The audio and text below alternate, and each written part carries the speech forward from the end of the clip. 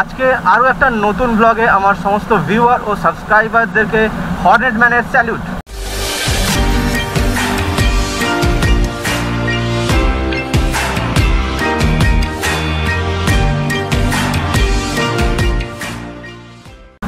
যারা আমার ব্লগ নিয়মিত ফলো করেন, তারা হয়তো জানেন যে আমি কিছুদিন আগেই ডানকুনির প্রিমিয়ার হন্ডা থেকে গাড়িটা সার্ভিস করিয়েছিলাম।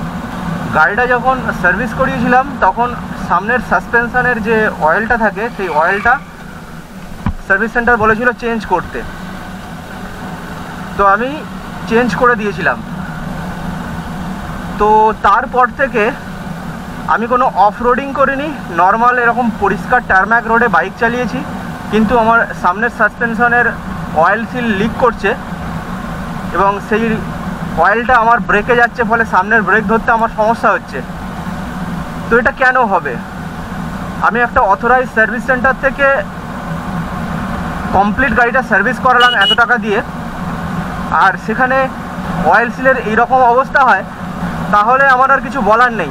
I am very disappointed about it আজকে পয়লা আগস্ট, আর আমি প্রমিস করেছিলাম যে প্রত্যেক সপ্তাহে অন্তত আমি একটা করে ভিডিও দেব।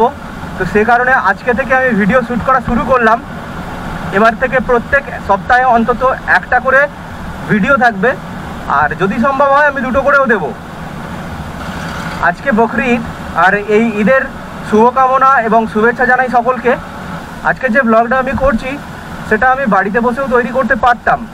কিন্তু আমি যে যে রাস্তায় বেরিয়ে করছি এটার একটা মজাই আলাদা। আজকে আমি যে জায়গায় কাজে যাচ্ছি, সেটা একটা ট্যুরিস্ট স্পট বলা যেতে পারে। জায়গাটা হচ্ছে আমাদের হুগলি জেলারই আটপুর গ্রাম। তো সেখানেই আমি একটা প্রিন্টারের রিফিলিং করতে যাচ্ছি। আটপুর সম্পর্কে আমার চ্যানেলে আগে একটা ব্লগ আমি অলরেডি পোস্ট করেছি। তো সেখানে আমি দেখিয়েছি যে আটপুরে এশিয়ার সবচেয়ে লার্জেস্ট টেরাকোটা টেম্পল আছে। আর আরেকটা কারণে আটপুর বিখ্যাত। আটপুরে স্বামী বিবেকানন্দ প্রথম সন্ন্যাস ধর্ম গ্রহণ করে তার শিষ্যদের সঙ্গে। আমার ডান দিকে এই যে যে বাড়িটা দেখা যাচ্ছে, এটা হচ্ছে রামকৃষ্ণ মঠ। আর এখানে বিবেকানন্দ তার সন্ন্যাস ধর্ম গ্রহণ করেন তার শিষ্যদের সঙ্গে।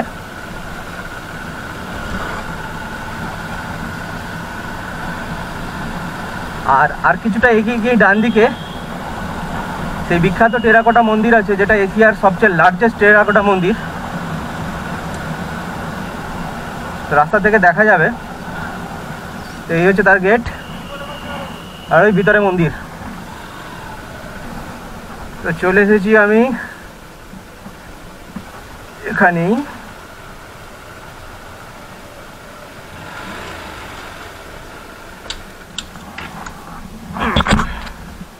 এখানে প্রিন্টার রিফিলিং করব। A few moments later.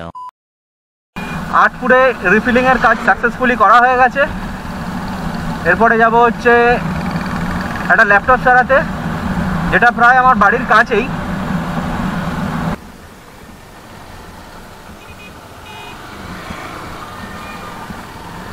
এটা হচ্ছে বর্ষার ধান বুনছে।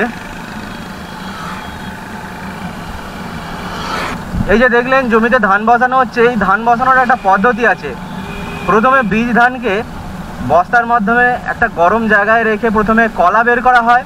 তারপরে সেই কলা ধানগুলোকে একটা বীজতলায় নিয়ে যাওয়া হয়। বীজতলায় নিয়ে গিয়ে ধান গাছ বের করা হয়। তারপরে সেই গাছগুলোকে তুলে নিয়ে গিয়ে জমিতে বসানো হয়। অর্থাৎ তিনটে স্টেপে কিন্তু ধান চাষ করা হয়। হেলমেটে ক্যামেরা লাগিয়ে এভাবে ব্লগিং করছি। সবাই টুকুর টুকুর দেখছে। হ্যালো গাইজ আজকে সেকেন্ড আগস্ট। গতকালে বলেছিলাম যে আমার বাইকের সামনে সাসপেনশনের যে অয়েলটা সেটা লিক করছে। যার জন্য আজকে আবার আমাকে ডানকুনির প্রিমিয়ার হন্ডায় আরেকবার যেতে হচ্ছে আমার এই অয়েল সিলটা ঠিক করাতে।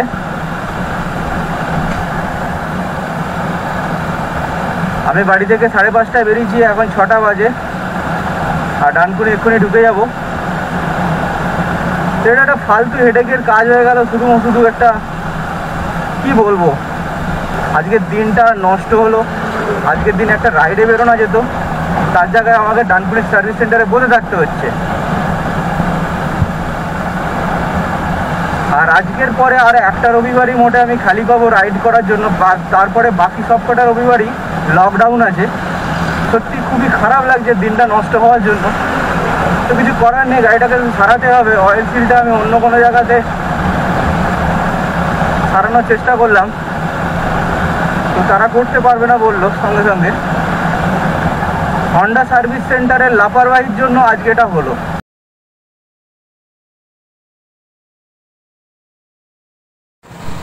ডানকুনি সার্ভিস সেন্টারের কাজ তো মিটে গেল। সার্ভিস সেন্টারে আমার প্রবলেমটা বললাম। বললাম যে দু সপ্তাহ আগে সার্ভিস করেছিলাম, তারপরেও অয়েল সিল কেটে গেল। আমি ফুল বডি সার্ভিস করেছিলাম। এক একটা পার্টস আমি চেঞ্জ করেছি, যেগুলো প্রবলেম আছে। তো তারপরেও প্রবলেম তৈরি হয়েছে। তখন ওরা আমাকে বলল যে আমার ফ্রন্ট সাসপেনশনের যে অয়েলটা আমার চেঞ্জ হয়েছিল অয়েল সিলটা আমার চেঞ্জ হয়নি। তো অয়েল সিলটা আমার চেঞ্জ করতে হবে, তো ওটার জন্য যে কস্ট পড়বে সেটা আমায় দিতে হবে।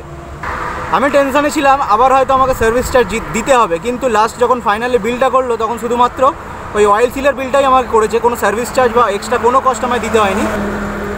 ইভেন আমাকে ওই যে অয়েল সিলের মধ্যে যে অয়েলটা থাকে, সেই অয়েলের কস্টটাও আমাকে দিতে হয়নি। তো থ্যাংক ইউ প্রিমিয়ার হন্ডা এই ধরনের সাপোর্ট দেওয়ার জন্য। গতকাল ঈদ ছিল, ঈদ থাকার জন্য আজকে সার্ভিস সেন্টারের ভিড়টা অনেক কম ছিল। আর তার জন্য আমার তাড়াতাড়ি আজকে আমার কাজ হয়ে যায়। আর তাড়াতাড়ি কাজ হয়ে যাওয়ার জন্য আমি তাড়াতাড়ি বাড়ি কিন্তু ফিরে যাব না। তো আপনাদের জন্য আমি একটা জায়গায় যাব। তো হঠাৎ করে একটা আনপ্ল্যান ট্যুর আমি অর্গানাইজ করে ফেললাম। তো কোথায় সেই ট্যুরটা করব? আজকের এপিসোডে আপনাকে আমি এটা দেখাবো না, দেখাবো পরের এপিসোডে তো চ্যানেলটা আপনি অবশ্যই সাবস্ক্রাইব করে রাখুন, যদি আপনি এই চ্যানেলে প্রথম এসে থাকেন। আর যদি ভিডিওটা আপনার ভালো লেগে থাকে, ভিডিওটা লাইক করবেন। আর আজকের ভিডিওটা আমি এখানেই শেষ করছি। পরের দিনের ভিডিওটা ঠিক এখান থেকেই শুরু হবে। তো আজকের মতো। আরে বাপ ভাল্লুক, মানুষ খাচ্ছে, আবার কামড়াচ্ছে ভি। তো এইখানে এসে আমার ঠিক এই ডায়লগটাই মনে পড়ে গেল, কারণ এই জঙ্গলটা একসময় প্রচুর ভাল্লুক ছিল।